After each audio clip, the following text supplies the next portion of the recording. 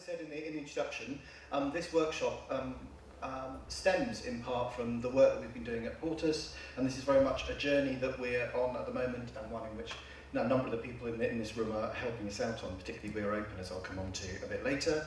Um, first off, what the, this place is, where I've been working for a very long time. This is the director of the site, it's called Simon Keay, and this is the, uh, the Press Association shot, um, you know, the publicity shot taken underneath the Imperial Palace at Portus. So it was a, an enormous Roman complex that we've been excavating for, for about 15 years now.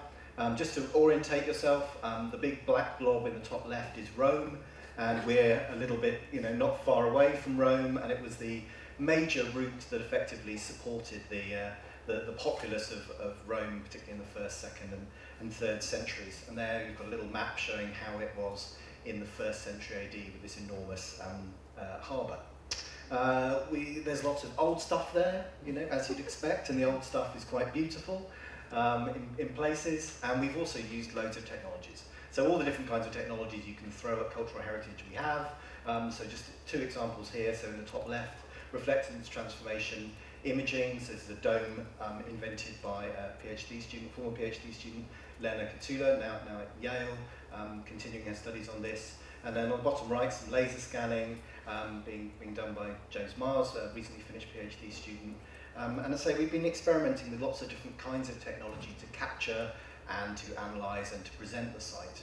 Um, that also includes various weird and wonderful ways of recording, so various head-mounted um, activities, working including uh, with, with, uh, with Martin, who's, who's here at the front, um, and a lot of um, work trying to disseminate the, the product to a, the project to a wide audience, so a couple of, um, of documentaries. And what we've become interested in is how you can link together all of these various um, sets of information in order to create a, an open scholarship spectrum, an openly accessible journey from your interest first being piqued perhaps by, by the documentaries, which have had many tens of millions of people watching them, and how you can then go on a journey and become a researcher um, um, in your own right, wherever you, you happen to be. And we've been working for, for a while trying to support these kinds of um, this, this journey. So one of the one of the projects we've done was with Microsoft Research, where we've looked in this case at something called rich interactive narratives, so ways of weaving together multimedia data sets and linking those through to publications, through to papers. So you can go from the paper to the data, and there's a story that's told in order to help you understand that relationship. Um, but the main thing that we have, we've been trying um, to link all of these bits together is um, via FutureLearn, this, this course, the Archaeology of Portus course. I think we're now on to our fifth run, I can't remember, um, and we've had about 25,000 people through it um, from, I think, 160 countries.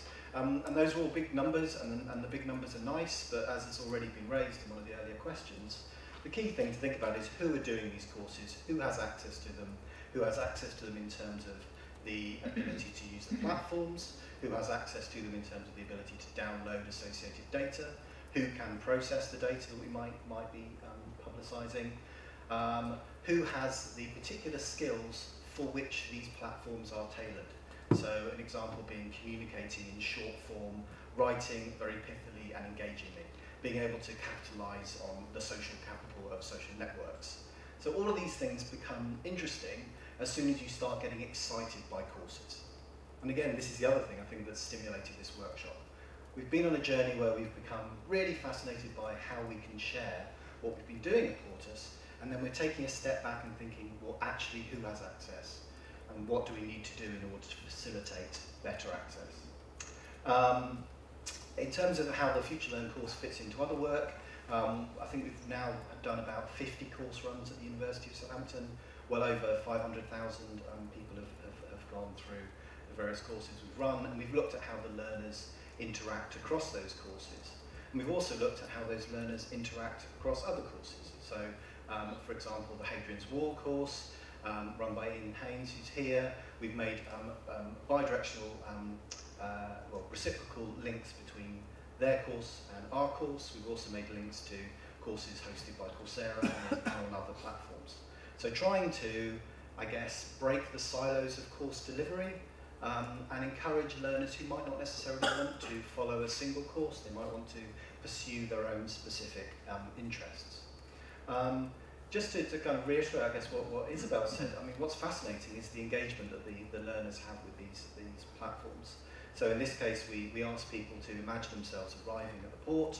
The kinds of responses we got were um, extraordinary, um, emotive, very um, personal in many cases, very descriptive, multisensory, um, and extraordinary. I think we have probably the best um, current understanding of the public uh, perception of the Roman world, at least from our demographic, purely through this one question, in terms of um, sensory experiences and, and imagination. It's a, a wonderful resource.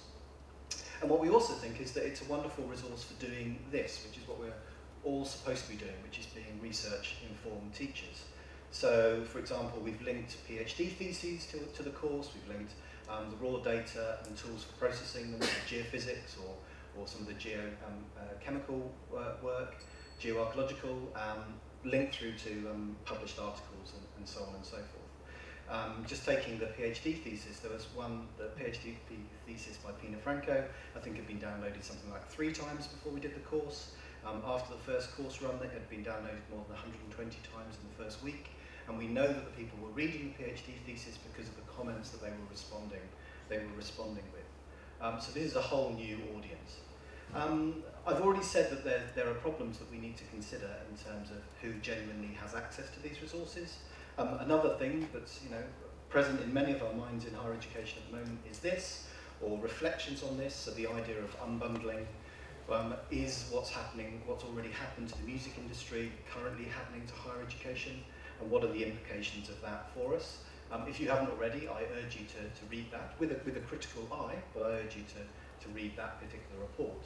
And I'd also urge you to look at some of the other emerging critiques of this, this process of, of unbundling. So, for example, this one, the um, Public University, the excellent LSE impact blog, which is critiqued it as, as well. Um, Times Higher, this article about the, the to what extent learners really are in, more engaged in different forms of, of online learning. Um, and some other prominent critiques like this, where one of the very early pioneers of, uh, of, of the, the, the MOOC model decided that he wanted to withdraw from it because of um, his fears that he would end up um, reducing the job prospects of, of, uh, of colleagues at other institutions. Um, and we, and then and I guess another example of the way in which this is um, interesting for us is the fact that not only FutureLearn but other platforms are starting to offer courses um, currently hosted by a single university but offering courses for credit full degrees um, which may well be leading to what here is described as degreed, the jailbreaking of, of the degree.